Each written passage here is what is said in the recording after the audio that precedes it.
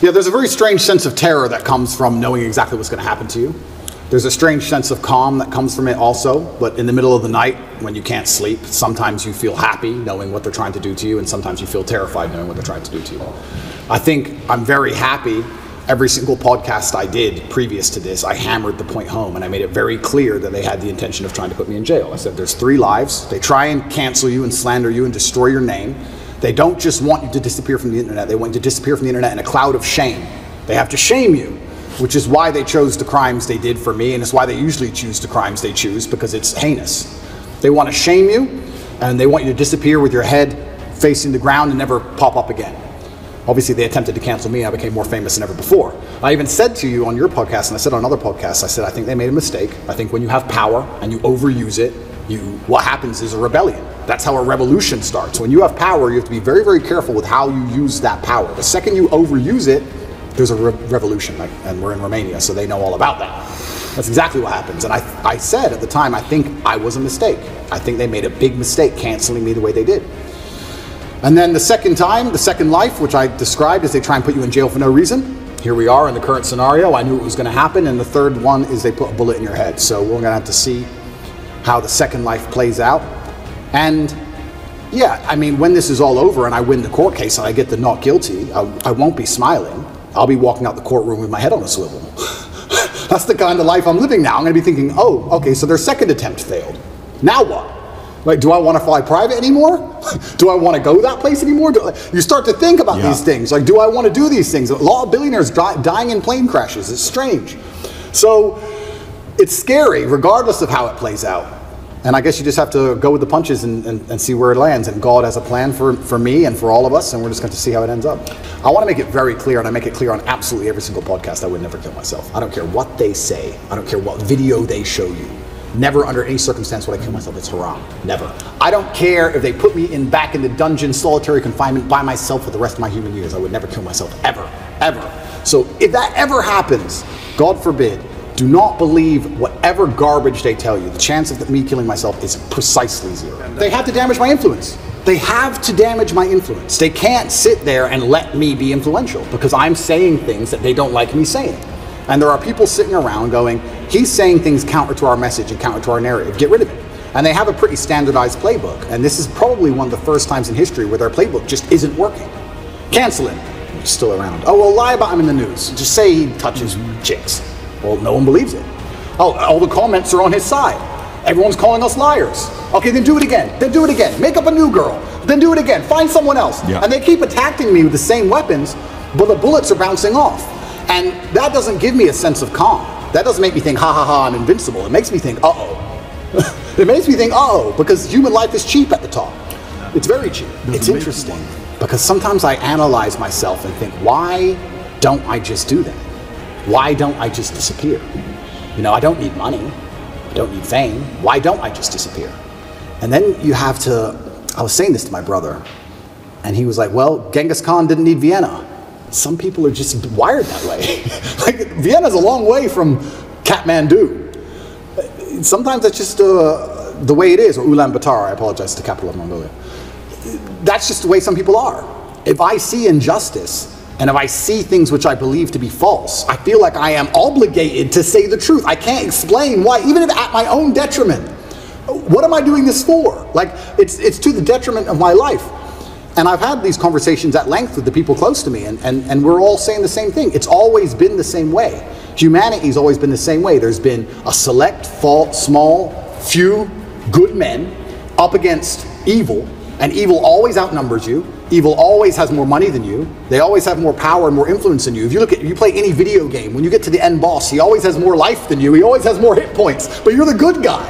And it's kind of like, it's, it's never been any different. At any point in human history, there's been the good guys up against the forces of evil, whatever they were at the time, and you've always been outnumbered and you've always been supposed to lose. Uh, well, instead of saying who, I will say, what I will start by saying is what they do. And what they do is they control information. And we now live in an information society, and by controlling information, they control how people think and act and react to things. That's all they have to do. They have to control information, and they have to be very selective with what they allow you to talk about and what they allow you to discuss and what they don't. And once they can do that, they can keep you bickering about garbage and they can control the sensitive information and then they run the world. So having all the information controlled and having this hard barrier on what can be discussed, that's how they can purport absolute fallacies. I think now it's been a couple years, we can probably talk about it. They psyoped the world into believing they should be afraid of the common cold. They, they psyoped the world into this. And if you think about how difficult that would be to do, how difficult would it be to psyop the entire population of Earth? Well, what you do is you just lie on repeat, and you don't allow anyone to say anything counter to it without hurting them the same way I've been hurt. And you just psyop them. It's actually amazing because now I use that exact same psyop on people. I love it. I love it. So when I sit with someone who's not matrix minded, when I sit with someone who is matrix minded, like when the BBC walked in here, I'm like, do you all have your vaccinations? Social, social distancing. actually have- 100%. Social distancing, please. And they look at me like I'm crazy. Well, how am I crazy? Two years ago, you were telling me to do this. Now, when I repeat your own worldview to you, I'm crazy. Well, if I'm crazy, guess what? You're a fucking liar because you lied the whole time. So either you're a liar or I'm not. You know, how could I be nuts? Put your fucking mask on. If I ever talk to any of these clowns again, they're going to be fully masked up. And I, and I refuse. I don't care if you've had two booster jabs. No, I want all six. All six injections. I want paperwork. Or get Or you're not coming in the house. Get fucked. I'm scared of COVID. It's dangerous. I believe the mainstream media. I'm scared. This word you keep using, psyop, I've never heard this word. It's short for psychological operations. Correct. Break that down. What, what exactly is a psyop? Yeah, a psyop is is is the matrix as a whole. It's psychological psychological operations are constant. They constantly decide how they want you to think and what they can do to make you believe that. Right? There's a whole bunch of them they do. But it starts with tolerance. That's what I don't like about this whole guise of tolerance. It's not that I'm an intolerant person. It's not that I'm a bad person. It's not that I want to hurt other people. But when they keep pushing tolerance, what they're trying to say is have no standards or barriers or parameters for anything. That's what they want. You have to be tolerant. Tolerant of what? Tolerant of having your shop set on fire, tolerant of your kids being taught things you don't want, tolerant of crime, tolerant of your house being broken into. Like, tolerant of what? You're not allowed any hard barrier or any hard parameters as a man anymore. That's why they push tolerance. That's the beginning of it. That's the first stage. Once you accept absolute tolerance, well, then it's the end, isn't it? I'm tolerant of everything. I'll eat the bugs. You'll sure. tolerate everything. I'll tolerate everything. I'm tolerant. Sure. So when I, I say things like I'm intolerant of certain things and people think that's bad, no, you need to have standards and parameters. And that's one of the reasons they also attack me. I, I say that men should be allowed to have standards and parameters in a relationship and in their lives. We should be allowed to decide who we want to marry, and we should have standards for her. They have standards for us. We should allow ourselves to have standards for her. We should have standards in what we'll accept from a government and standards in what we'll accept from a police force. We should have standards as men. But they're trying to erode all of that because once that's gone, then your brain is completely empty. And then once your brain's empty, they can just plug in the slave program, and then then it's over, right? You're tol- you're a tolerant person. You're a tolerant person. Good. You're a good slave. Slaves are exceptionally tolerant. They're they're good for different things, man. But um, they both have the same basic, the same basic worldviews, the same basic, uh, what's the word I'm looking for? Propaganda. Propaganda. The same. They're trying to hypnotize you in the same way, right? And it's all done on purpose. I think we've discussed this before, and we'll discuss it certainly a bit later. But they're trying to destroy the masculine imperative to prevent revolution. So it's all kind of the same. There's certain things I respect about each country. Um, but it was good to certainly at a young age move around a bit as well. It, it allowed me to never ever really settle in a school and make a bunch of good friends or anything like that. So I always understood, even from a young age, how to make people like me quickly and also how unimportant the relationships with those people were. Right. I wasn't a kid who's like, oh, I'm to miss my best friend. I was like, okay, you were my best friend for two years. Peace. I'm out. I was like that. So that's probably another reason why me and my brother are so close. So yeah, it was a good upbringing. I can't have nothing bad to say about it. I was just raised by the OG. My dad was a G. Big, black, chess master, huge, drinking, gambling, pimping. Like he's just out here. He was just that guy, right? So he was like that to the end. So he was a hero. Yeah. So chess. I mean, obviously my father was a chess master, right? So I had to I had to learn the game. He sat me down. I spent a lot of time learning it. And to this day, I have massive respect for chess. So much respect for the game. It's so much harder at that world level than people can even fathom. Unless you even play the game, you can't even anticipate how good these people are at the game. They're they're effectively computers. I don't think you can even be good at chess at that level without having something a little bit wrong with you. You got to be on the spectrum somewhere. Do you know what I mean? Because it's crazy how good these guys are. But yeah, chess is an amazing thing. I still play chess every day. I'm I'm not world level or anything. I'm around 1750, 1800 elo. Um, if anyone knows chess, that's what I am. But yeah, it, it would that be considered? Uh, better than average? High? higher certainly tip? certainly better than average. Yeah. You know, it's, the average player let's say is around a thousand or something. Okay. But my dad was 2400 Okay. 2500. Damn. So yeah, so I- I'll, I'll give you an example. My dad could beat me without looking at the board. So my dad would be in the kitchen, fucking around the kitchen, cooking dinner. I'd be in front of a chessboard in the living room, and I'd say E4. He'd say C C6. Knight F3, Knight C3, and damn. boom, and he'd smoke me without looking at the board. That's how good the best. It's, it's, it's insanity. Yeah. But um, I do think it's a good basis for life. There's certainly a lot of lessons in chess. There's certainly a lot you can attribute to chess from from everyday life to the chessboard, and I think it's a good it's a good grounding mechanism. I enjoy to sit down for a good couple hours, win some games, lose some games. Yeah, absolutely. So uh, I'll give you my favorite one first. Yeah. Please do. My favorite one is is the difference between the king and the queen Mm. right? Because the king moves one square at a time, and the queen can just zip across the board, right? So you're here in Miami, you're partying in Miami. They got all these parties right now. It's Art Basel, blah blah blah. You see all these chicks on a boat. For the man to get on that boat, it's one square at a time, right? He has to get a good job. He has to get his taxes right. He has to find a way to leverage credit. He has to meet the guy who sells the boats. He has to go through all this shit stage by stage by stage to finally pull off being on that yacht and having that yacht at the age of 56. A chick, what does she need? Lip fillers? Boom. Zip. On. She gets straight on. That's the difference between the king and the queen. But although the king is slower than the queen, he's the most important piece, right? The king can't die. The queen can die. The queen, sometimes you can be looking at a position and go, this is fucked up. The only way out of this is to sacrifice that bitch. Hmm. Sometimes you can do it. I'll tell you, I'll tell you a very quick story. This is a story I've never told before. When I was, how old was I? 23? When I was 23, I was dating a ballerina. She was the prima ballerina of the Cambridge Ballet School in England. And I had no money. I was a fighter, but I was coming up. I didn't really have any money. And she lived far away, like an hour and a half away, but she used to come see me, and we were good for like a year, year and a half. I loved this girl. Yeah. And uh, she finished ballet school. She started dancing in clubs in London. She couldn't get any ballet work. Surprise, surprise, surprise. Who fucking wants ballet work, right? So she ends up doing like dancing and uh, not stripping, but like dancing in the club, you know. Da-da. So now she's around all the the London money every day. She's out dancing all the time. She's up late every night. She doesn't want to drive an hour and a half to come see me. None of this shit. So we're kind of falling apart a little bit. And uh, she ended up talking to someone famous, David Haye. I don't know who he is, he's a boxer. So David Haye starts texting this bitch, right? Back and forth to the. So anyway, when I finally saw her again, she was like, we had an argument. She's like, well, you know what? You think you're a fighter? This guy, that guy, this guy, that guy. I'm like, look, if you're gonna go fuck idiots, at least do it for money. And she's like, what do you mean? I was like, well, if you're gonna go fuck idiots, at least get paid because they don't give a fuck about you. Like, if you're gonna play this game, at least do it for money. Right. So I had this argument with her back and forth, and I explained to her that these men are just going to use you. If you're going to do it, at least get paid. And when she left the house, Tristan said, Why are you telling her to fuck other dudes? I'm like, No, I'm just understanding that in my chess position, I've lost this game. Right. Mm. The game is done now. Just sooner or later, she's out. All we do is argue. She's in the club every night. I'm just trying to say before she leaves, maybe I can get a little bit of money. Yeah. yeah. That's the queen sacrifice, right? Right. Right. she, we we broke up three months later. I don't know if she fucked him or not, or who she fucked. I don't know. I never spoke to her since. But that's kind of the, the analogy you have to be able to apply to life. Sometimes chicks gotta go. Yeah. Sometimes they have to go to save the king. And uh, too many dudes, most of the time, men truly lose at life is because they've attached themselves to a queen and they won't let her up. They won't sacrifice her. No, no matter what, I promised I'm going to stick by you. This, uh, our marriage vows, no matter what, no matter what. And they just stay on that sinking ship till she eventually leaves his ass. Even worse, what most queens do, queens, I don't want to use queens, what most women do nowadays, especially in the West, I see women getting their men in trouble all the time. Do you know how many times I've seen chicks starting fights for their dude to have to mop up? My man's gonna, blah, blah, blah. and the man's like, oh, fucking shut up, man. Yep. There's, there's four of them. Yep. Do you know what I mean? Like, even if he's a big dude, he's like, I don't really need this now today. Yep. You know what I'm saying? Man, I, I, another story. I have so many stories in my life. My life's been cool. Back around the same time, I'm 22, 23 years old, kickboxer. I was British champion. I wasn't world champion at the time. It was four in the morning. The club just ended. I was in a chicken and chip shop. It's an English thing. They sell like fries and fried chicken and, and they're open 24 hours. Like, yeah, something like that. Mhm. And there's a long line.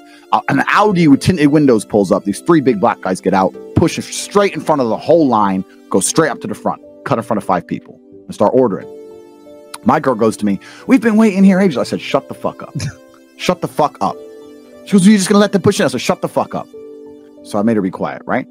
Anyway, the man two two in front of me, not this guy, the guy here, he couldn't tell this bitch to shut up. She's like, Excuse me, excuse me, there's a line. And the guy turns around and goes, You think I don't see the fucking line? I don't care about a fucking line. So she starts running her mouth. Bro, this dude knocked her the fuck out Oh man. whack, clean, out cold. By the time her man looked at her and looked back up, boom, sparked, done. Whoa. Both of them. And I stood there and watched both of them just laid out clean. Yeah, fatalities, bro. It was, it was, I wouldn't be surprised if they both have permanent damage. It was bad. The, the three dudes who ordered the chicken and chips didn't even take their food. They started laughing, walked back out, got in the car. And I turned around and said to my girl, You see, some people are just ready to fucking go to jail. Some people are ready to kill people over fucking nothing. You want me to fight? Oh, yeah, I can fight. But what am I fighting these three dudes for? What, fries? Yeah. What, fries and a 10 minute delay? Damn. Man, and this what bitches will get you into this shit. Yeah. Bitches will get you into this shit fast. And that's why when I see dudes saying, oh, yeah, she's just my friend, you're hanging around with girls and they're not even giving you pussy and they might get your ass killed. What the fuck is wrong with you, With man? Girls are a liability. They're a liability to have around you because you have a duty to protect them in some regard. I curate my experience very, very carefully. Any woman I'm around, I understand I have to protect. So she better suck something. Cause I ain't fucking sitting around being friends with no bitch. Cause I've seen it. I've seen it. I've seen so many men have their ass kicked over chicks. It's inc- it's incredible. 100%, man. They're, they're, they're a liability, and, and it's not necessarily just completely their fault. Yeah. But if you're rolling with a chick who won't shut up when you tell her to shut up, you need to be careful, man. And and Myron nailed it. There's a big difference between fighting and violence. Yeah. Like I'm a professional fighter, right? I know how to fight. But fighting and violence are different things. Yep. If I wanted to get violent on somebody, I just run them the fuck over. Like that's forget fighting, right? If someone, if somebody who hurt my family was on the sidewalk, I'm not gonna get out and fight the guy. I'm just gonna just run him over my fucking truck. We'll talk about violence. Because if you rely on the government for food stamps, then you can't argue with the government, can you? So that's what they want. So anyone who believes in the Matrix and believes in media and believes in the lies they're told, anyone who sits there and goes, "That's true," that it's literally designed to make you broke. That's why it's all a scam. Do your GCSEs, do your A levels, get in debt, go to uni, get out, get a shit job, get a mortgage. Don't worry, when you've paid that mortgage off when you're 61, then you'll have enough money to go to Spain for holiday. Then your pension comes. Oh, government doesn't have the pension money anymore. Funny enough, hedge fund stole it. Oops, de doops. and then you wake up one day and go, whoa, I just got fucked. So the whole scam, the whole story is a lie because they want you broke. they don't want you rich. If you're rich, you won't listen to them. So all of it's a fucking lie. And intrinsically, we all know this, right? If I when I pull up in one of my 30 cars to a gas station and people look at me and they see a Lambo or a Ferrari or a Bugatti or a Koenigsegg, whatever I'm driving, nobody goes, wow, he went to school. No, they think drug dealer, gangster.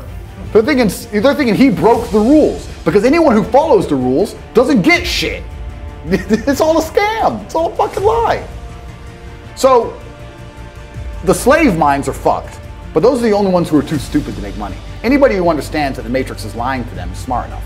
So very few, very small percent are too stupid. Inside of our school, at the height of it, before the Matrix attack, we're relaunching now, we had 175,000 students. Wow. When we had 175,000 students, maybe 2,000 we kicked out for being too stupid. It's step by step. Do this, do that, do this, and don't be lazy. Fuck, it's not that hard, right?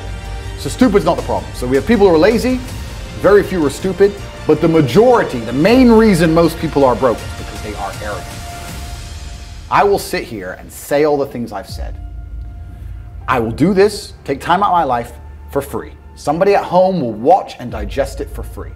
They will agree with the things that are being said, or at least be entertained enough to continue to watch. And then I'll say, I'll teach you how to make money online. CobraTate.com, you can join the real world. And they'll sit there and go, nah, I'll do it myself. They're arrogant. They have these egos from fuck knows where because they didn't earn it. And they're just too arrogant to listen to anybody. I became world champion by listening to my coach. I didn't become world champion by walking in and saying, I'll do it myself. That's not how you get anywhere in life. You have to listen. If, if Mike Tyson were to walk in, or if Elon Musk were to walk in here and talk to me about money, I wouldn't be sitting there going, I can do that. I'd be like, oh, Mr. Elon, richest man in the world. Hello, very nice to meet you. Please, even though I already understand I don't want to launch a car brand or put rockets in space, please, you must know some things I don't know. How do you deal with the currency fluctuations? Does, does, does uh, inflation impact how much it costs for you to send a rocket into space? Like, I'd ask him something that's useful, right?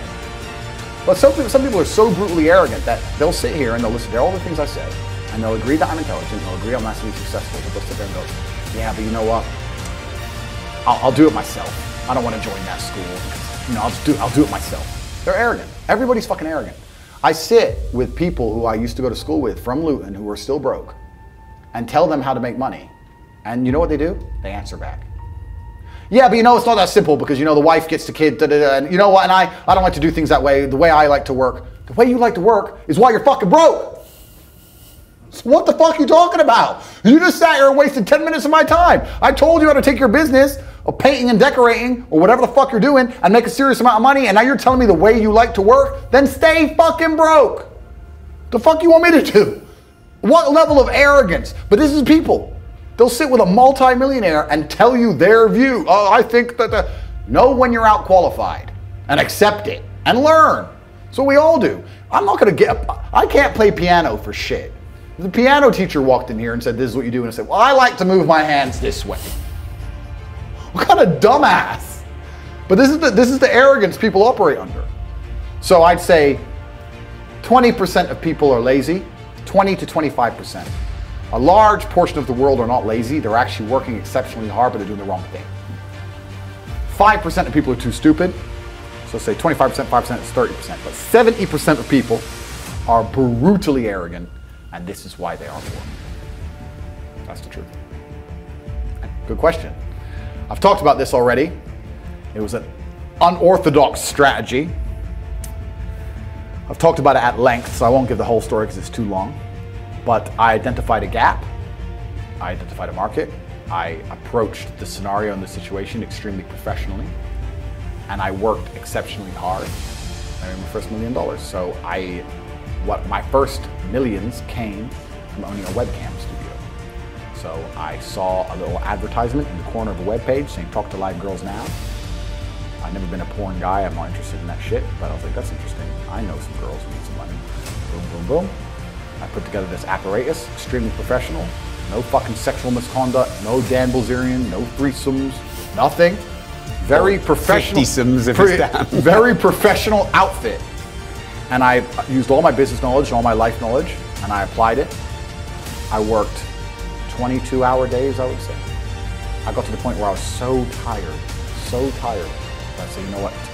Give me 20 minutes. And if the alarm, if I could hear the alarm go off, I'd get up. Sometimes I just slept clean through it, and I slept an hour or two. For months and months and months, and I built an empire. I built an insanely large empire at one point. I'm completely out of that business now, but how did I How, do? as in, did you sell it? Uh, I didn't sell it. I just closed it all down. I moved on. I started making a bunch of money and I found other opportunities. But how did I get that opportunity? Perspicacity. First thing I said, pay attention. I paid attention. I looked at the girl. I'll give you the coffee shop example. This is what I did. I clicked on that advert. I saw the girl sitting there, miserable, waiting for a customer. I thought nobody's going to buy from an unhappy bitch. You need these men are the men who are paying her are trying to escape an unhappy life, or they wouldn't be doing this shit. So when I got my girls online, smile. Happy girls get paid. That was the token. That was the slogan. Happy girls get rich. Joking. Ha ha ha. Who's you gonna pay? You're gonna pay the girls like, yeah, yeah, having a having a blast.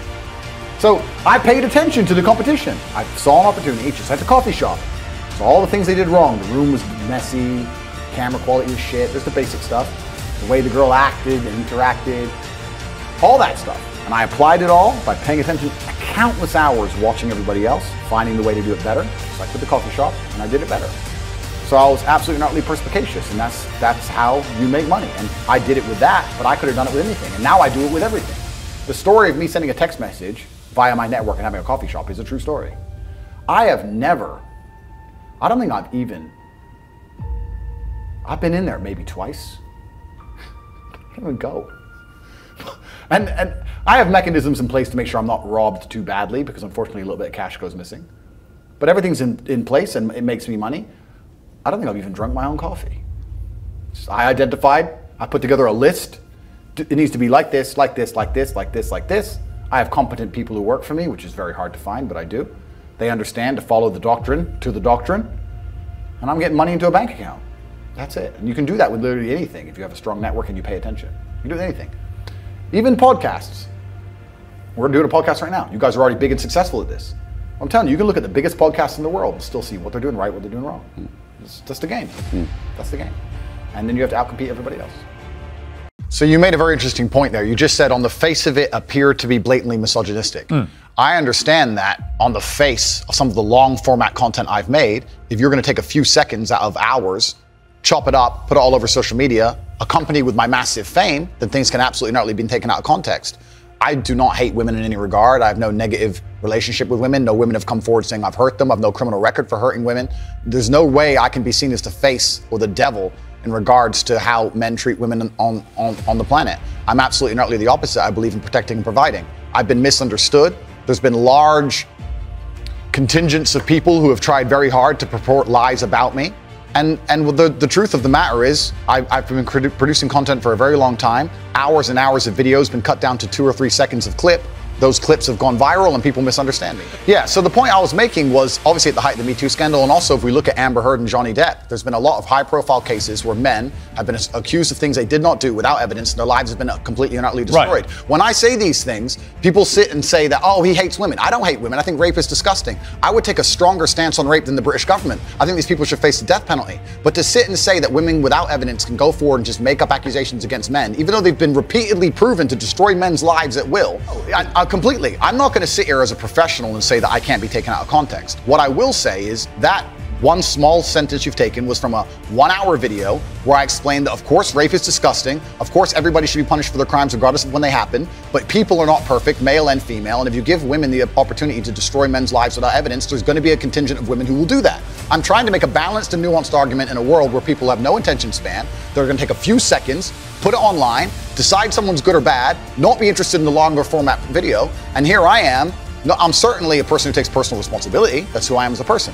But we live in a world now with TikTok videos five or six seconds long. There's no content because I made a religious point. I said that when a man marries a woman, the woman's father walks him down the aisle, walks her down the aisle, and hands her away to the man. Traditionally, this is what it says in the Bible. I'm a religious person. I believe in God. I live in the oh. Muslim. I think my sister is my her husband's property. Yes. When a bride is walking down the aisle to marry the groom, the father walks next to her and gives her away. True or false? It, I, perhaps the way that that the reason I'm asked that question repeatedly, and I'm asked in a loaded way. So would you and- rephrase what you said there? Now, what? That's that's an interesting point about phrasing. The way I would say things before I was famous, hmm. I have to take personal responsibility and accept. Right. that if I make a video that 500 people see and 1% of them misunderstand it, that's not a problem. If I make a video that 5 million people see and 1% of them under, So specifically on that point, I think my sister is her husband's property. she took his last name. She she married him. She wanted to join his family. She has said he- it herself. Right. So she. she She's still a sovereign individual. Listen, my friend, if we want to argue about this, we need to go back to the Bible, to the Quran. You need to argue with religious. No, no, I'm not, I'm not talking of the world. about any, anything in the Bible or Quran. I'm asking that's what it says. No, no, I'm asking you what you think. I think that if a woman marries a man and she decides to take his last name, that they have different roles and responsibilities within that marriage, and I believe that That's not the question. she's hand. I believe Don't, the don't father. behave. Oh, I am. The, don't the father like, hands her. Don't behave like a politician. The father hands her When to the man. Right, but don't be a politician because I think you're a straight talker, Sure. right? You keep telling me you're a straight talker. I think my sister is her husband's property. Do you regret saying it like that? I, I understand that with my newfound fame, perhaps it could be phrased differently. However, I still believe that a woman is given to the man in marriage. That's what I believe. Yeah, but- I, but that's the way that people ask me the question. People say to me, they ask oh, the Oh, question. hang on. You can't blame people for asking you questions. Surely, if you want to be accountable for what Sure. you've said, you've got to own your responses, not, the, not blame the question. I own the response. I like believe- me asking you a Okay. question now and you say something and then say, well, actually, I blame you for asking." I understand, Piers. Piers, I understand. I believe the woman is given to the man. I believe she's given away by the father. I believe she belongs to the man. So If you she do, belongs to so the man. fundamentally, all right. So fundamentally, you do believe that a woman becomes a man's property. At I marriage. believe she belongs to the man in marriage, correct? Right. Then let me make it very, very clear to the camera. I believe a woman is given to the man in, in marriage. I believe that. I also believe a man has a duty to protect and provide for her. I believe a man should lay down his life if something happens or his wife's life is threatened. I believe that me, women, women and children first are on the lifeboat, lifeboats. But men, I believe that men. But a man I- doesn't own a woman. It's not. No. It's Unless okay. they literally buy them as a slave. Well, obviously, we're not talking about that. We're talking about religious, biblical marriage. We're talking about something else. I understand that very well, Piers. Which That's is why, people think you're a misogynist. Completely. I understand all of this very well, which is why when you're saying I was backtracking, I'm not. I'm Do you have any regret though over the way you phrase this stuff? well, this is the point I was trying to make. The point I'm trying to make is when I was not nearly as famous and I was making long format content, I was not sitting there anticipating I'd become the most Googled man on the planet and that a few seconds could be taken out of context. That was not my anticipation. No, but it's I still what plan. you believed. It's what you believe now. So what's the difference? It's not about. It's not. You're asking me. You're saying that young people who are If impressed. you said to me, look, look, Piers, honestly, I've had time to think about this, and I wish I hadn't said it. I don't believe that. That's one thing. Actually, you've said the opposite. You said, actually, that's what I think. Yeah. I think that when a So it's it doesn't really matter whether you recorded it when you're famous or not famous. It's what you actually believe, right? I believe that a man has a duty to protect and provide for a woman. I believe that uh, a woman's father gives her away to the man. That's what I believe, and that's in, in my marriage. That's that's the circumstance I'm going to live under. If, if people want to live in a different scenario, that's completely theirs. Their their prerogative. You, you went on to say about authority over women. If I have a responsibility over, her, I must have a degree of authority. For the same reason, if I have responsibility over and people are going to use their mind, it's an example, an analogy. Responsibility over a child, I have to have some authority. Yeah. So you, you believe as part of your ownership or your property of, of the woman, you have authority over her. No, I believe if you have That's what you said.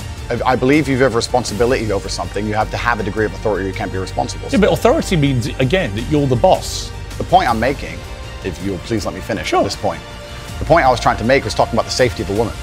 She was walking alone at night, and I was saying, well, I wouldn't let my woman walk alone at night. Hmm. And they said, well, you're not in charge of her. You don't get to decide what she does. I said, I understand, but if I'm responsible for her safety, and I'm the person who's burdened with making sure she is safe, I have to have the authority to say, don't put yourself in unsafe situations. The two things are linked. Well, you don't, you don't have authority. You have the you, you can absolutely have the right to say to the woman you're with, I don't think you should. But ultimately, if she it's- decides, then I can't force her. right. So course. authority implies that you have the ability to control someone. No, authority believes uh, the authority implies that I have the moral right to sit and say that that's an irresponsible thing to do, and I'm responsible. for That's not what thing. authority means. Well, I'm, I'm not going to. If you think I'm going to lock somebody up in their room, if that's is that what you're implying? No, I just think I don't think you know what authority means. I know what it means. I'm saying that if I Just a different description of what authority. if I have responsibility for her safety, then I have to have the authority authority to tell her not to do unsafe. yeah, but authority means that you have some form of control over this woman. I, I think you're trying to what you're trying to. I'm do. only trying to get to what you think. Honestly, I am. I come with no agenda here at all. I understand, and I'm explaining very very clearly. Hmm. If I have responsibility over said subject, I have to have authority over it. So let me say you have children, right? Right. You have responsibility for them. No, I have I have legal authority over my children. That is very different to having legal authority over my wife or my female partner. completely. But the point I'm trying to make, So you accept that? I I accept that you. Because you used the analogy of responsibility for a child. my friend, these are these are very These are actually really important things. They're Andrew. important things, but you, introdu- you, introdu- you interrupt me every five seconds, so it's hard for me to actually explain my point. The point I'm making here is very simple. You have children, and you're responsible for their safety, so you're going to have authority to say, don't go out at night, perhaps because you want them to be safe. I have legal authority. You have a legal authority. Yeah. Legal authority.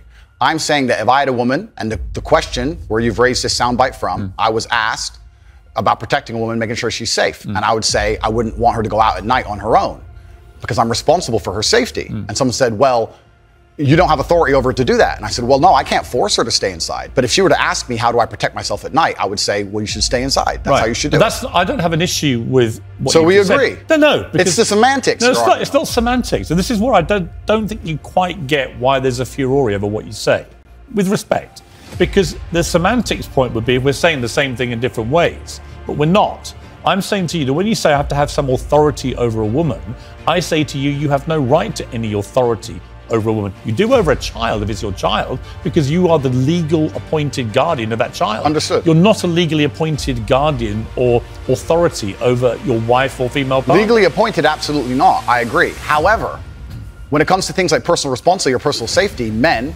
largely by society, are accepted. We're the protectors and providers. We can sit here and pretend that in the world we live in, if me and my wife were walking down the street and men were to come up and try and attack us, I wouldn't be the one fighting. But we both know in reality I would. Right. I have a I degree I of don't I have a degree of responsibility to protect her. So if I have a degree of responsibility to protect her physically, then the point I'm trying to make is I will do my best to make sure she's never putting herself in unsafe, unsafe wish you situations. hadn't used the word authority, Ed. she- the authority is something that she would give to me. She would come to me and say, So is- "How do how can I make sure No, I'm as safe on, as okay, possible?" But I don't want to interrupt you. I just want to point out that's not what authority means. if someone gives, you can a person can give Voluntary authority is not authority. Uh, no, but that's the point. If It's a not. woman, Piers, if a- Andrew, not. Piers, if a woman comes to me and says, "I want you to keep me safe," she is handing me authority for her safety. Completely. I never said. One I- is consensual and one isn't. but why are we pretending I do unconsensual things? Because you no literally say, I must have a degree of authority. I have to have some authority. And the point only if I'm responsible for her safety. If I'm not responsible for her safety, your I don't have authority. if your position now is that with her permission, I would like to have authority when we go out at night to protect her, that's a different that was thing. always my position. But that's not what you said. But that was always my So, position. Piers. so again, I simply say to you, do you? It is what I said, though. Do you wish you'd phrased it a different way? No, because we're talking about long format copy where I'm talking about a woman who has come to me and said, You're responsible for making sure I'm safe. I said, Well, then I have to make the decisions. When an which gives me 18 year old boy reads, I must have some authority over a woman, what do you think he thinks? Well, I understand that and I said this earlier when you tried to say I was backtracking, which I'm not doing. I No, understand. no, actually, I'm not. I don't want to. Okay. I'm not trying to gotcha you. Cool. I'm trying to work out exactly what you. I understand with massive fame comes massive responsibility. I understand that a percentage of the population are always going to take everything that's said by anybody out of context. Would you change the wording of what you said? No, I would just encourage people to watch my long format copy and understand it Would you tell an 18-year-old boy you don't have authority over women? Absolutely. Uh, You would unless, say that? Unless a woman comes to him and says, "You're responsible for my safety. Please make sure keep me safe." Like I my see. woman Now that Andrew. Tate, I can sign up to. Well, then we agree. Yeah, but I don't agree with what you said before. Because you're taking a soundbite from a two-hour yeah, but you haven't been taken out of context because I read you the entire sentence. It's very. But you've ignored all the context around the sentence, my friend.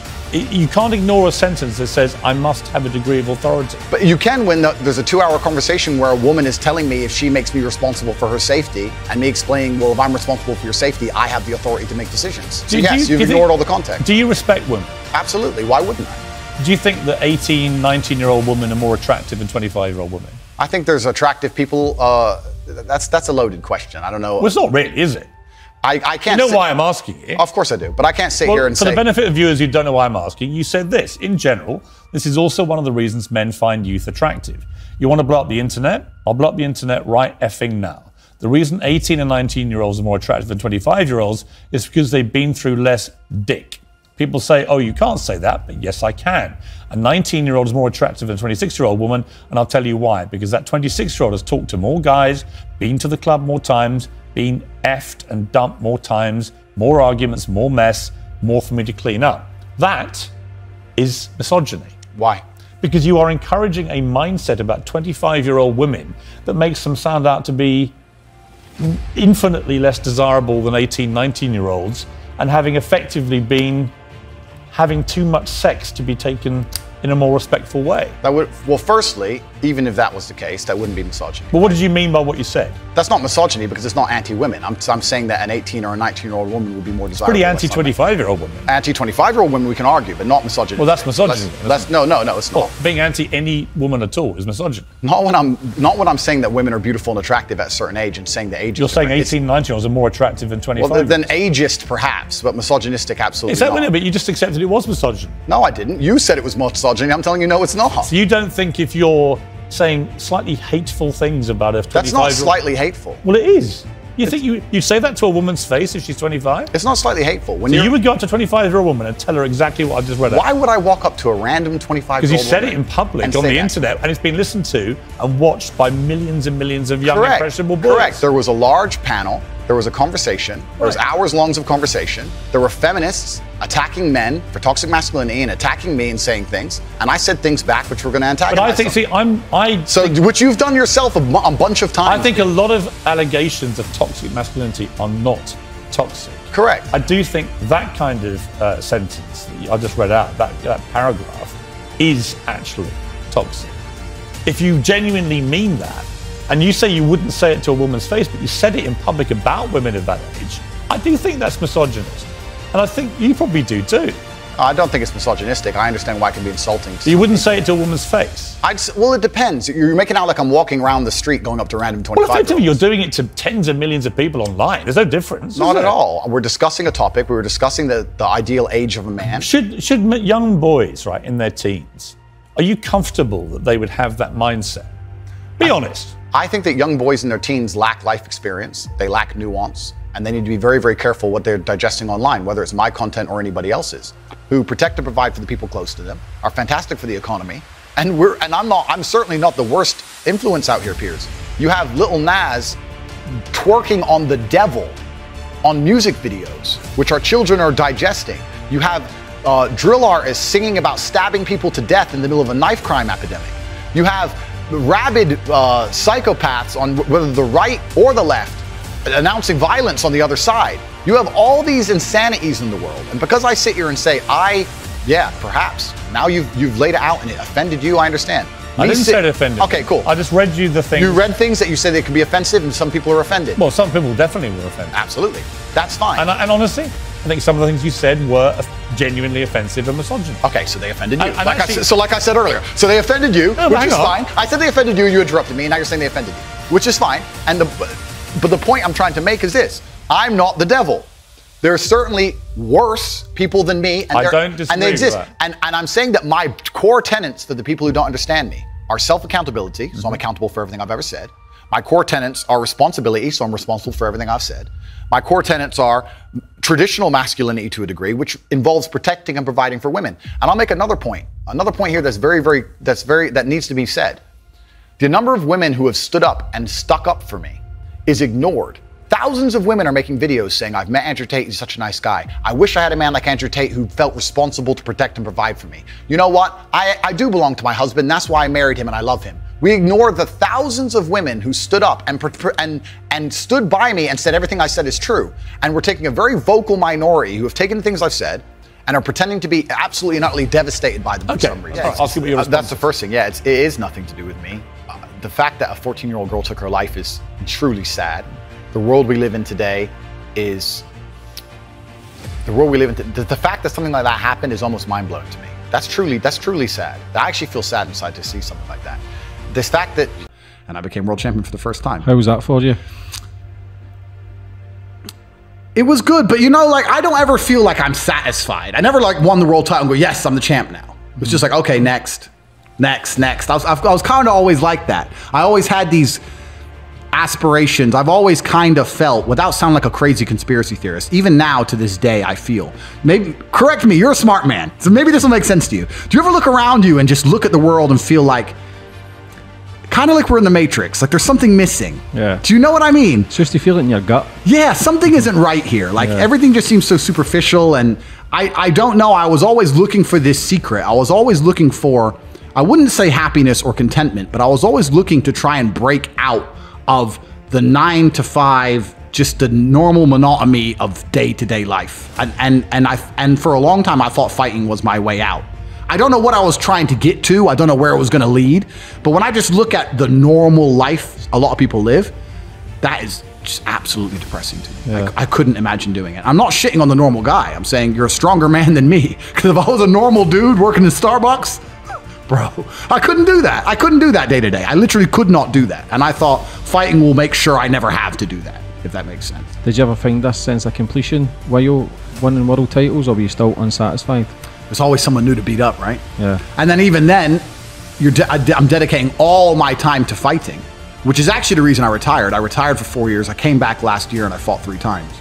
But uh, I actually retired because one day I woke up and I looked at my life and I thought, I'm giving seven hours a day to fighting.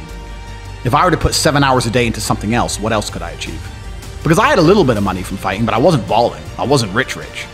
And I thought, what's the point in being the world champion if I can't buy Lambos on the debit card, right? What's the point?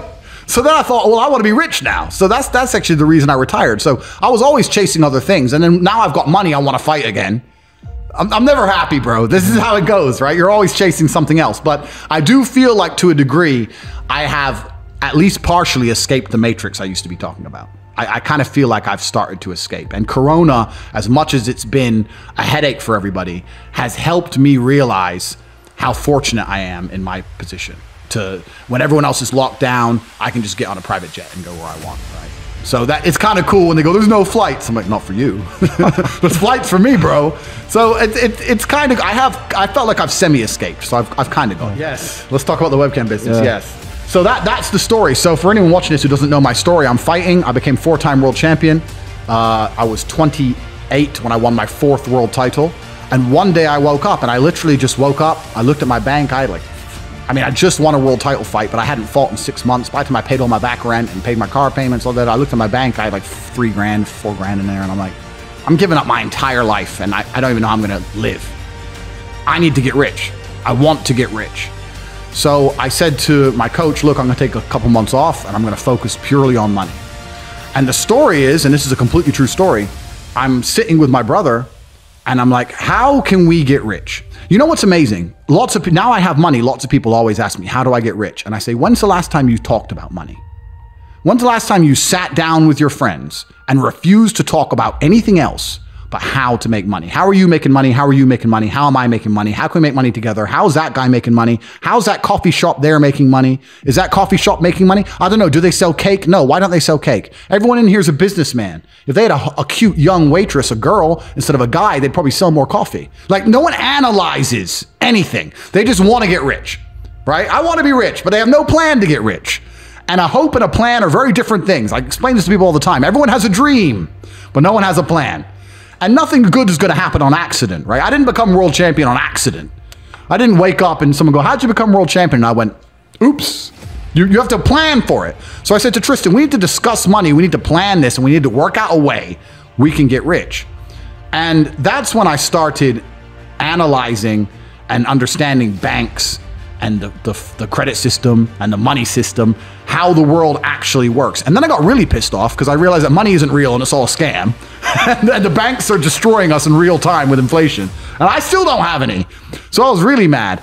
And uh, I'm writing down, I was reading, I was watching some YouTube videos like financial advice, and we're talking about assets, liabilities, etc. And I'm writing down all my assets and I'm trying to work out what I have that's worth money. And the only thing I writ down, because I had a car, but what's that worth? Nothing. I'm, I'm big and strong, but I'm already fighting. I can't think of anything else to do with that. The only thing I had was because I'd been fighting all around the world, I had these six girlfriends, right? Because you'd win the world title, you fuck a ring girl, she falls in love with you, you're the big millionaire in London, of course. She thinks she thinks you live in the balling life. You're in some tiny, tiny apartment with a door lock.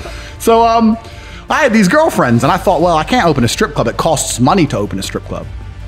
And I'm kind of racking my brain, and by absolute coincidence, I'm going around the internet and I saw in the corner, talk to live girls now. And I'd never in my life, like, I was never a porn guy. I've never been watching porn or clicking on these things. And I said, talk to live girls. So I clicked on it, and there's some chick there on a computer. Like, Hi, and I was like, my girls can do that. So that, that was the very beginning. That was the eureka moment. And I walked into my, my brother's bedroom and I said, we're going to start a webcam company. Yeah, so and this is the thing that's interesting about it, because when people hear this story and they say like a pimp, etc., people imagine me to be this exploitive, horrible, evil man, which is absolutely and utterly the complete opposite. I'm not trying to convince the internet I'm a nice guy, right? Because I don't give a shit. I'm just telling the truth. So the beginning of it was I messaged my six girlfriends and told them they're all coming to live with me, and I had a job for them in London. Uh, two of them wouldn't come. Four of them agreed. And I was like, we're gonna make money, load money, a bunch of money. You're gonna live with me, blah blah blah. We're gonna live the dream. Right now, I'm in between apartments, so I'm in this shitty apartment. you know, because kickboxing's not boxing, bro. You're not making millions like the boxers are. So the four girls flew in. I sat them all down at a table. They're all like, "Who's this chick? Who's this chick?" Told them all the truth. I just straight sat there, just sat there and said, "Listen, I've been with you all. I'm starting a webcam business. I'm gonna get rich. Some of you are gonna come with me to the top of the mountain, or if you're pissed off, you can fucking fly home." just very matter of fact to the point because I needed money. At this point, now I have not agreed to take another fight. I need money now. So uh, two of them left, two of them agreed to stay. And the beginning of my cam empire was this tiny little apartment, me and my two girlfriends living in this house, right? Um, and they went on cam together as a duo, as a team, to start making money. And that was the beginning of it. And the interesting about it, the interesting thing about it was these girls were so inept from a business perspective. Like they are very beautiful and they're nice girls. I can't say anything bad about them, but they were not, women do not have a business mind. So they'd sit on webcam, right? And uh, an old dude would sit there. And the old dude would say, What kind of guy do you like? And they'd say, Oh, I don't know, someone in shape who's rich and young. And I'd be like, No, no, He's an old dude. You have to say, I'm tired of these young guys messing me around. I need an older guy who's ready to settle down. I don't care if he has money as long as he'll take care of me. Da-da. If he's a young guy, you say, I'm tired of these old guys perving on me. You need to sell the dream. So I'm, I'm, I'm training these girls. And it got to the point where it was easier if I just typed myself. So what we ended up doing was we had the two girls on camera with a keyboard, which wasn't plugged in, doing this. And then I was behind the screen talking to the dudes saying the right things and start dragging money out the internet. And for me, I mean, this is a long time ago, right? This is about, how old am I now? I'm 34, so I was about 28. So about six, seven, maybe eight years ago, right? And making money online nowadays is far more popular than it was even eight years ago. Who do you know eight years ago who made money from YouTube or from online? Yeah, no, nobody. It's just booming. It's, just starting. It's yeah. just starting. So the four girls flew in. I sat them all down at a table. They're all like, "Who's this chick? Who's this chick?" Told them all the truth. I just straight sat there, just sat there and said, listen, I've been with you all. I'm starting a webcam business. I'm going to get rich. Some of you are going to come with me to the top of the mountain, or if you're pissed off, you can fucking fly home. So a woman can't go around fucking people and pretend it's the same as a man running around fucking people. It's absolutely not the same. If I, a man can only cheat if he loves someone else. If I have a woman who I truly love, and I go out and fuck, and I come back to her, and I don't care about her, and I only love my girl, that's not cheating. That's exercise. If she even talks to a dude, it's cheating. Because females are emotionally invested. I have no emotional investment. So no, I'm making this very, very clear. Any woman who was with me never, never even. The only men they spoke to besides me were my brother, Hi, and the guys online who were paying them. That is it. They were absolutely loyal to me. And if they weren't, they got fired. And any feminist will disagree with me, but I'll tell you something. Women are loyal to one thing on the planet. And the only thing they're loyal to is, is the man they want to have sex with. So every time there was a girl who I wasn't sleeping with, she never lasted long. So then I had these four big premises, all these overheads, all these managers that got out of control. So I cut down to like a special forces team of around eight girls. And that's where I made my most money. When I had four girlfriends, my brother had four girlfriends, me, my brother, eight women living in one house. And all the women adored us and they obeyed us. And at the peak, I was turning over 400 grand a month. Only an English or an American girl is stupid enough to be a hoe for free. Because over here, they'll be a hoe because they were drunk. They'll just be a hoe because they're dumb. Oh, I slept with a bunch of men. Oh, he was funny. So he jizzed on me. Like they're just idiots. In the in Eastern Europe, they're far too intelligent for that. They understand that the number one commodity a female has is beauty. And if they're born with it, they're not gonna fucking waste it going out getting hammered and banging Joe whoever. They're not gonna do that. They're not stupid like that. So Western girls are extremely easy to sleep with compared to Eastern European women. This is gonna really piss the feminists off, but I'll tell you it's the truth. It doesn't matter whether a woman wants to be a lawyer or a housemaker or a webcam girl. Unless she has a man directing her, she's gonna fuck it up. They're just not built to be completely independent creatures. The women who go, I'm strong and independent, you're working for a man in a company and you're getting fucked by 10 men a month. You're not independent. It's just a lie. It's a lie. You're just you're just undesirable. That's what you are. There's no such thing as an independent female. They're all relying on a man to some degree. Maybe I'm completely crazy. Maybe I'm full of shit, like you said. Girlfriends, eight ghetto friends. You're making my life sound very, very interesting. You're making my life sound good. Yeah, I do uh-huh. okay, man. I do okay. I just try and live as as close as I as I can to my masculine imperative without hiding who I want to be or what I want to do or letting society program me. And I think if you let if you give a man true free reign, completely be who you want to be and you don't let society program you, he's going to drive a fast car, he's going to have a bunch of women, he's going to want to have a bunch of money, he's going to do whatever he wants, right? We all want to be free. So I try my very best to be free. What is free to you? that's a good question. And especially in the modern political climate with all this corona, et cetera, et cetera, I think freedom is being destroyed in real time. Even before corona, freedom is being destroyed. You, we, if, if you look at even very basic things, right, like freedom of speech, if a man isn't free to say what he thinks in the way he wants to say it, if political correctness or hate speech or whatever, whatever, if a man can't even express himself the way he thinks it, is he free? You know? And what they do first is they restrict your speech because if they restrict your speech, then they can start to restrict your thoughts. If you're not allowed to ever say it, then you're probably not going to think it so often. This is why it's done on purpose. So I don't think that society is very free at all. And I think that in in regards to keeping our employment, keeping our money coming in, making sure we don't lose our social medias, every single person has to censor themselves to some degree. And I try very, very best to skirt that line you know, as far as possible. So I feel free. Freedom is the ability to scream when you want to scream, be angry when you want to be angry, smile when you want to smile, say what you want, do what you want. And and that's a very, very rare commodity in the modern world. That's extremely rare. So that's what I would consider free. Yeah. Okay, so yeah, I am uh, half English, half American. My father was in the Air Force. He was based at Chicksands in the UK. He met my mother.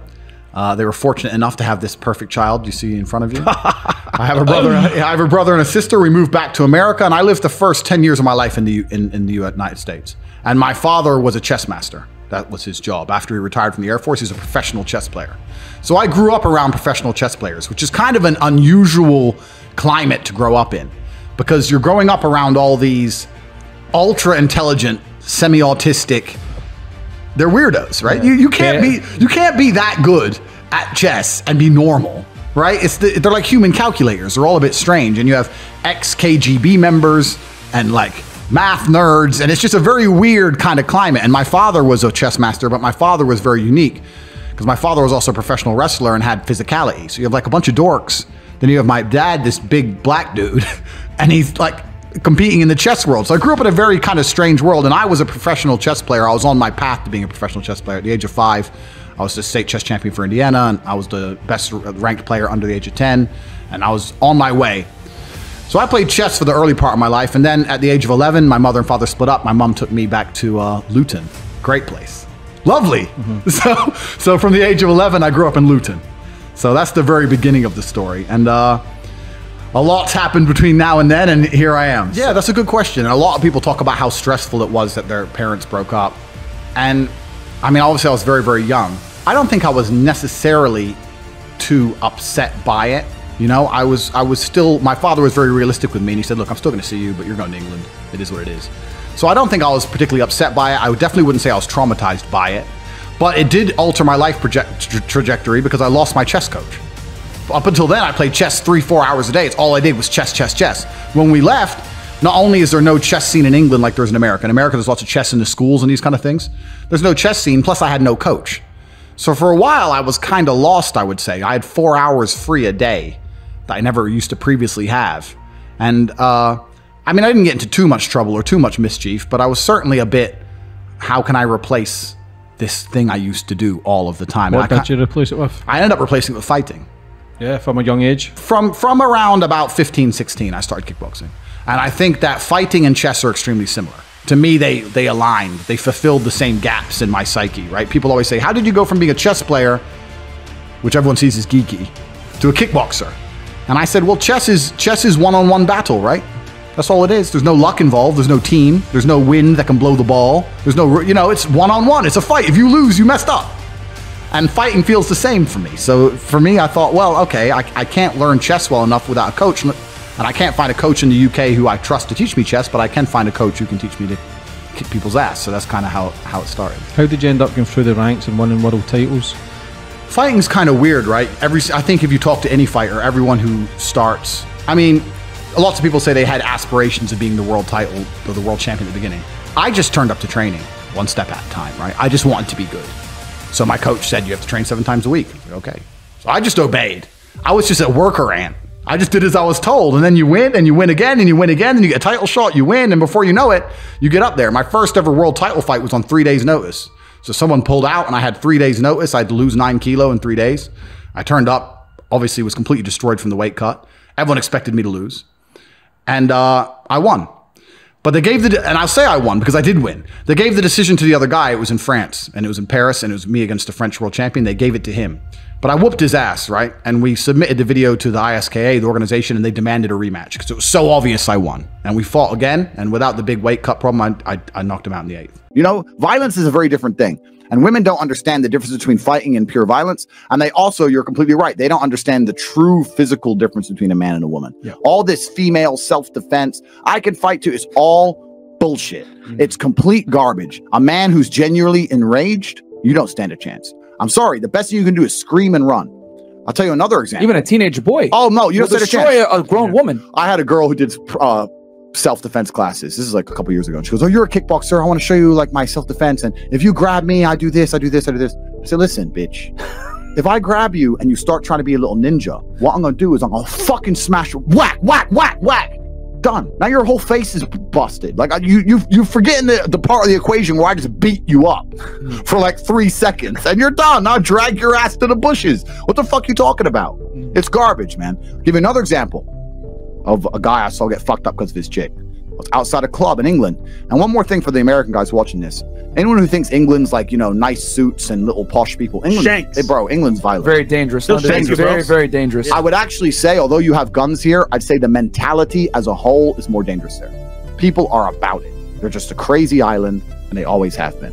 So it's a very dangerous place. Chef, Yeah, yeah, Chef G. yeah, yeah. I, I, I, have, I have it missing here. I don't know if you can zoom in. My finger came off from a blade, oh, shit. all the way off. Yeah. Oh, wow. That's, that's a long story. I was walking to a car late at night. And I was arguing with the. I don't know if you can see the scar there. Had to Yeah. be sewn back on. God damn. So uh, I, I'm mixing stories now. But yeah, I, was, No, I, I had arguments with the guy by text. He stopped replying. Two days later, as I walked to my car at night, they tried to kill me. And that also shows a lot about intent, right? Because when they with intent, they don't threaten. That shows you how. You know, I was arguing with the guy, and he goes, "All right, just stop replying." And that shows true intent because he tried to kill me.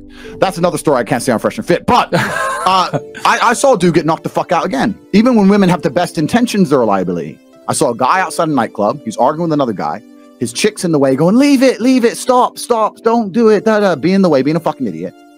Anyway, she hold, she grabs her guy, like, "Go, stop, stop!" Holds onto his right arm. Stop, stop! Boom! He gets knocked out. You're holding on your dude's arm. How the fuck's he gonna fight? Even if you don't want him to fight, you're just gonna hold on his arm, saying, "Stop, stop, stop," and let him get sparked. I tell my chicks all the time if we're walking down the street and any kind of altercation comes, run and fucking scream. Fuck off. You're no good to me next to me. You're you're no good to me in between. You're no good to me next to me. You're no good to me shouting stop. You're no good to me holding on to me. Just fuck off. Run over there and scream and get somebody else. And leave it to me. Even if there's a hundred of them, leave me by myself. Because these chicks will get you fucked up, especially the ones who aren't trained. And even if they have the best intentions, if they panic, what they're gonna do? They're gonna grab you because you're their man, right? Oh, oh, oh. They're gonna stop you from being able to fight. Yeah. They're a fucking liability, dudes. You're walking out here with chicks and they're untrained. At least my chicks are trained. I literally will sit down with girls and say, "Look, if something goes off, especially where I live in the world, Romania, these kind of countries, if something goes off, run and scream." Should I, should I tell you the story quickly? Yeah, tell us the story on that one. All right, so I'm with my dad. My dad, my dad's a chess player, but he's also like a park hustler, right? So like he'd go to the, the parks and play chess against the other chess guys to make quick money. So we'd go in there and offer them ridiculous odds, like three to one, four to one, give them more time, whatever. And he'd sit down at the park and he'd, and he'd bust them up. My dad was really good at chess, but he was ultra aggressive. So like grandmasters hated playing him. A few times he lost spectacularly because he went too hard, but there's some few times he had crushing victories, like just wrecked a grandmaster because he just went completely all out defenseless. He was like an attacking player. Damn. So uh, I remember I was about eight years old. I told this uh, story on my Tate speech, my YouTube channel. I was about eight years old. Yeah, I read it and I was like, that's definitely your father's Yeah, yeah, yeah. I was about eight years old, and my dad, even when he was still alive, because I only speak English, right? Even though I live in Romania, and I said to my dad, "Do you think I should learn another language?" And he sat, he turned to me and said, "You don't even speak English." And what he meant is, most people don't even have a, a grasp of the English language. Think how many words are in English you don't even know, right? So his what he was saying to me is, you don't need to learn anything else; you need to learn English. Hmm. Which was funny, but my father spoke a very particular brand of English, and that's what this story is about. So it was Detroit. It was three in the morning. We were in a gas station. I was walking around. I remember looking at the Cheetos. I'm eight. Who doesn't like Cheetos? and I heard an altercation near the front, near the front of the till. I heard like some scuffling, etc. I don't know what exactly happened, but I came to the front and my dad was getting jumped by four Mexican guys. Right. So they're hitting him, bang, bang. One of them got a bottle, start smashing him. They're beating the shit out of him. Even as my dad was getting his ass kicked, I'm eight. I'm standing there just frozen. As he was getting his ass kicked, he turned to me and I remember he almost he growled at me and he went, run to me as he was getting beaten, right? He managed to get one of them and hold him tight and must have bit in his face because or whatever he bit, he had flesh in his mouth by the time the whole thing was done, right? So he bit something off. So there's blood everywhere. Anyway, the shopkeeper starts screaming, so he's going to call the police. It kind of starts tussling, goes half outside. My dad manages to stay inside. The, the Mexican guys run off. My dad's covered in blood. His head's cut. He bit that guy's, I think he bit the guy's lip off. Mm. So there's blood all down the face of him. He's absolutely covered in blood. He's drenched in blood. And I'm standing by the drinks cabinet, still just standing there. So he told me to run. So what the fuck are you going to run in a 7 Eleven? So I'm just standing by the drinks cabinet. He said, son, son. So I came over there. and My dad's standing there. He's talking to the shopkeeper. The shopkeeper was Korean, saying, It wasn't your fault. It wasn't your fault, blah, blah, blah. Anyway, police come. And the police look through the CCTV. They see that my dad fought all these guys off. And the police officer said, So what's your job? What do you do? When he was taking the, the statement, my dad said, I'm a chess player. And the police officer said, Chess player? Maybe you should be something else. And my dad replied, My unmatched perspicacity, coupled with sheer indefatigability, makes me a feared opponent in any realm of human endeavor. It's just carried on right in the report. But what my dad was saying, unmatched perspicacity. Perspicacity, perspicacity is the ability to perceive, right? Perception. My unmatched perception. Indefatigability is the ability is the inability to become tired. So he's saying I have unmatched perception and I never become tired. And that's why I'm a feared opponent in any realm of human endeavor. And I remember that quote from when I was eight years old. That's a badass way to talk. I'm jealous to this day. damn. People think I'm good on my podcast. That's how my dad just spoke through life.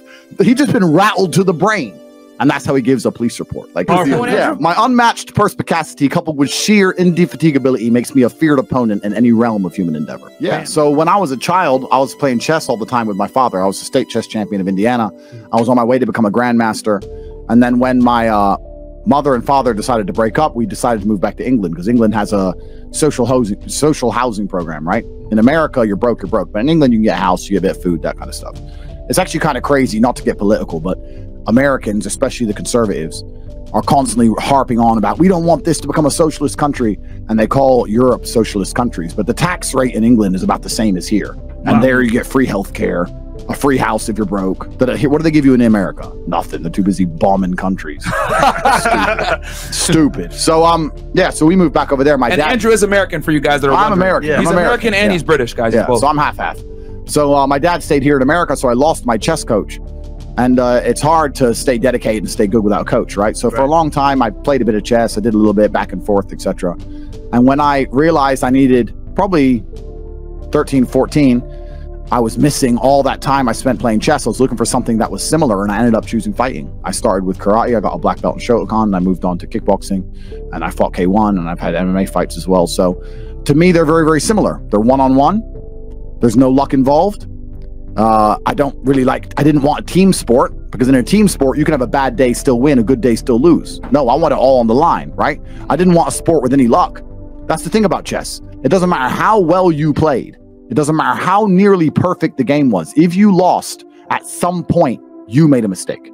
Even if you can't identify it, at some point you have made a mistake. And that's a fantastic metaphor for life as well. Because there's so many people out here who don't take responsibility and they'll come along and go, well, COVID happened. That's why I lost all my money. No, I don't buy that. I don't give a shit what happened. At some point, you did not diversify. You did not prepare yourself. You made a mistake.